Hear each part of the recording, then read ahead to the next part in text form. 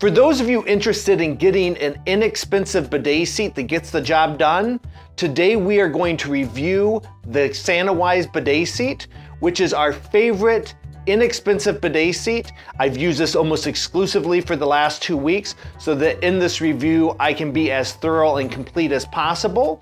My name is Daniel Johnson, owner of ManyBidets.com. Join us as we usher in the new era of cleanliness.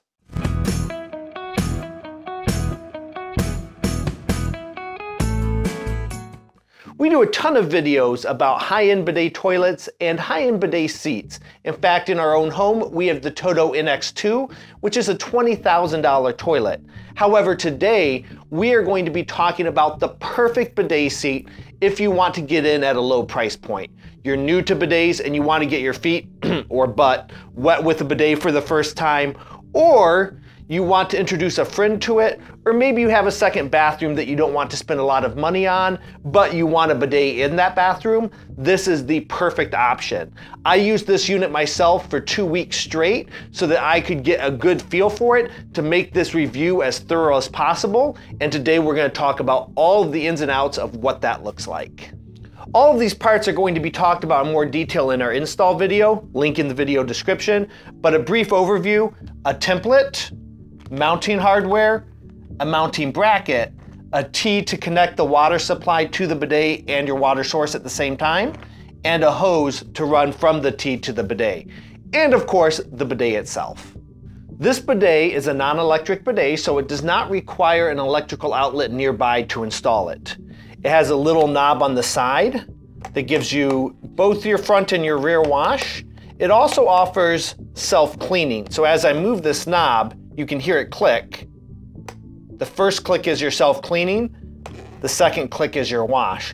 Now, because it is a non-electric, it is going to be powered by the water pressure in your home, which means that you really have a hard wash and a harder wash. There's not a really easy soft wash. You can kind of mess with it a little bit, bring it up and get eh, a somewhat soft wash, but you're not gonna have the control over the pressure that you would with an electric.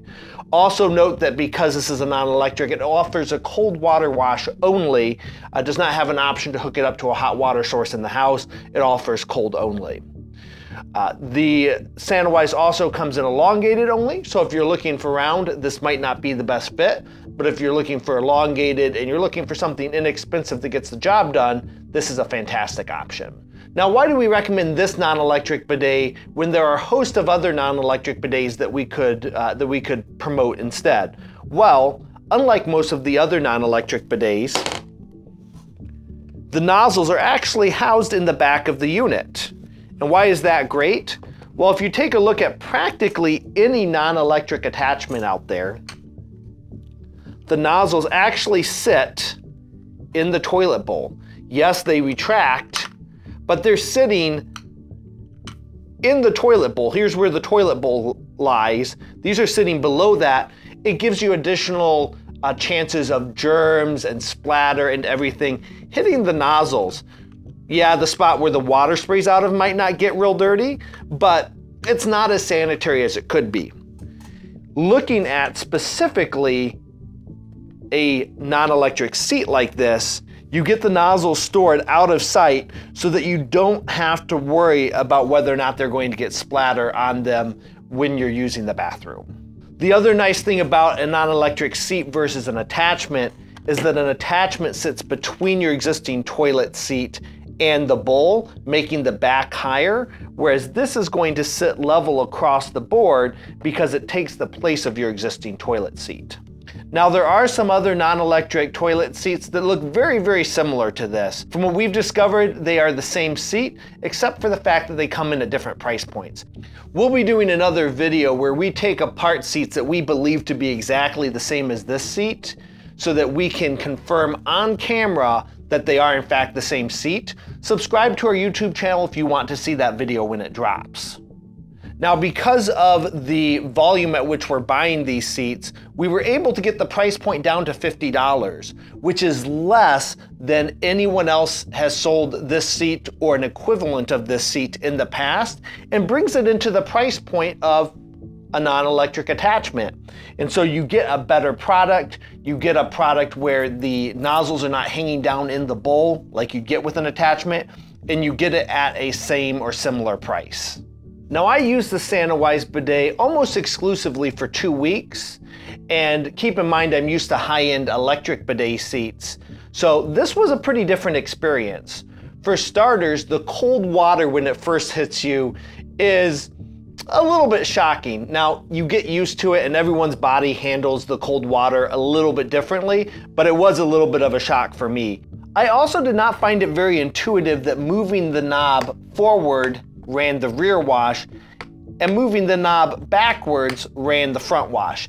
That being said, I did find after a day or two of using it that moving the knob forward for a rear wash was second nature. The other thing that caught me off guard was the fact that the first click does not run the wash, it runs the self-cleaning. So I moved the knob, I heard the click, I thought I was gonna get the wash started. I heard water running, but the wash wasn't hitting me. It wasn't until I moved it a little bit further and I got the second click that the wash started. And that threw me for a bit of a loop. So don't let that alarm you if you get one of these and, and you try it the first time you use it. On the way back, the same thing happens. You get the, the self-cleaning nozzles running water over them. So either way, you get two clicks. Now, one of the things that did surprise me a little bit is I expected because it's a non-electric seat and it's got a sleek profile that I was going to gain sittable space compared to some of the electric seats that I've tried. While I found that it did have more sittable space than say the Swash 1400 or the Omigo seat, I didn't really feel like it had more sittable space than some of our other high-end seats like the EcoNova or the Cascade. That being said, because of how low the back is, it is a very sleek seat, and I found that it was one of the best seats that I've used in the respect of looking like a traditional toilet seat and not really looking like a bidet seat at all.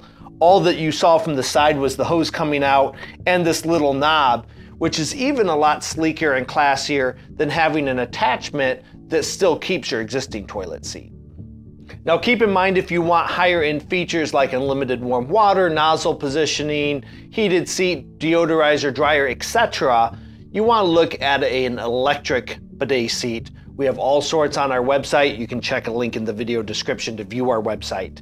However, if you're looking for an entry level unit for $50 that is going to be better than the $50 attachments you can find elsewhere, this is a great option for your second bathroom, your first bidet, your bathroom without an electrical outlet, or a friend that you're trying to gift a bidet to. We're also going to be shooting a video very soon about how to make sure that you're getting clean with a bidet. So if you're using this one or another one and you're having issues with that, check out that video. A link will be in the video description. Thank you so much for watching today. Reach out to us if you have any questions and have a great day ManyBidets.com where we sell mini bidets, not mini bidets.